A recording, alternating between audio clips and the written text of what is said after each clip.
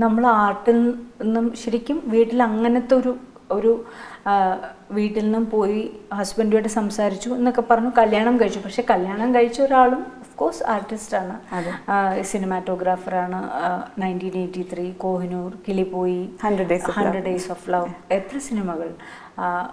അപ്പം എങ്ങനെയാണ് അത് എത്രത്തോളം ഇപ്പം നിങ്ങൾ ഡിസ്കസ് ചെയ്യാറായല്ലോ? എങ്ങനെ ഡിസ്കസ് ചെയ്യും?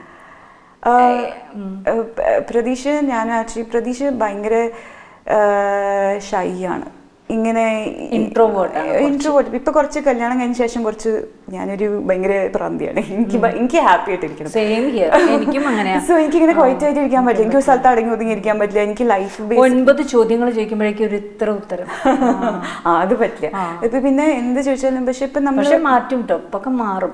അത് നമ്മുടെ ഒരു wrong ബിലീഫാണ് if you keep on doing this you know tenth year fifteenth year twenty year ഒക്കെ കഴിയുമ്പോൾ പെർഫെക്റ്റ്ലി ഓൾ റൈറ്റ് പക്ഷെ ഇപ്പൊ തന്നെ മാറി തുടങ്ങി ബിക്കോസ് അല്ലെങ്കിൽ വീട്ടിലൊക്കെ ഭയങ്കര ഞാനെപ്പോഴും പറയും എനിക്ക് എന്റെ എന്റെ അച്ഛൻ ആർട്ട് ഫിലിം മേക്കർ ആയിരുന്നു. പക്ഷെ എന്നാലും എന്റെ ലൈഫ് ആർട്ട് ഫിലിം പോലെ പറ്റില്ല. എനിക്ക് മാസി എന്റർടൈൻമെന്റ് എനിക്ക് ഏത് നേരം സംസാരിക്കണം എനിക്ക് സോൾവ് പ്രോബ്ലംസ് ഡിസ്കസ് ചെയ്യണം. ഇത് ആ ഓക്കെ പിന്നെ ചെയ്യാന്ന് പറഞ്ഞാൽ അവിടെ എനിക്ക് ഫിനിഷ് അല്ല. എനിക്ക് അതിന്റെ സൊല്യൂഷൻ വേണം ബേസിക്കലി അങ്ങനത്തെ ഒരു സംഭവം.